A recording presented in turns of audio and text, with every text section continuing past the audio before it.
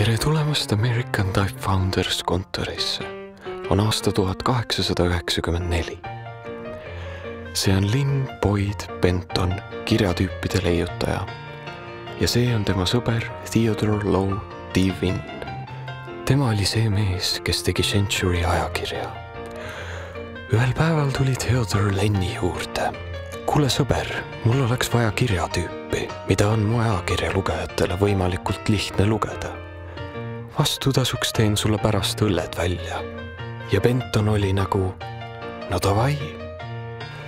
nii sündiski Century kirjatüüpide perekond, nagu näiteks Century Old Style, Century Expanded, Century Bold ja Century Bold Condensed.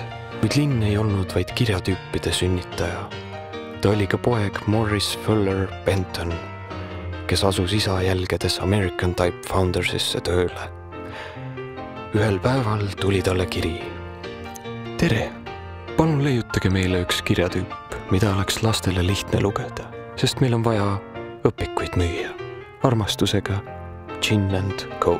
ja Morris oli nagu, no davai.